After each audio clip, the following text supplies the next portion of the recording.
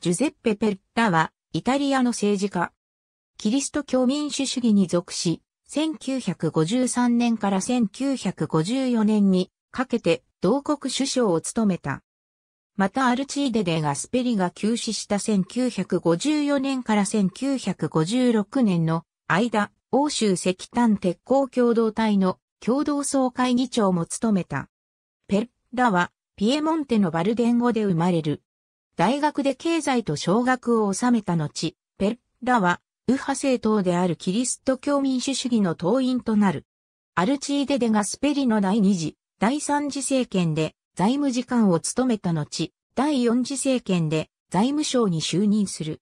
ペッラは1948年から1953年にかけて財務省を務めていたが、そのリベラルでマネタリスト的な政策は共産党や社会党だけでなく、キリスト教民主主義の一部からも批判的に捉えられていた。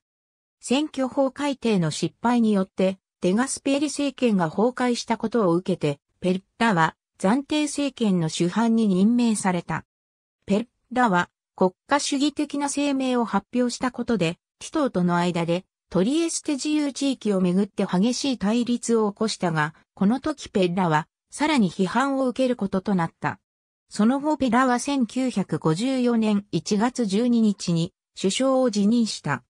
首相辞任後、ペッラはアドネツオリ、アントニオ・セーニ領政権で外相をアミントレ、ファンファーニ政権で予算省を歴任した。しかし、キリスト教民主主義と社会党の連立を嫌い、ペッラは政治の表舞台を一時退いていた。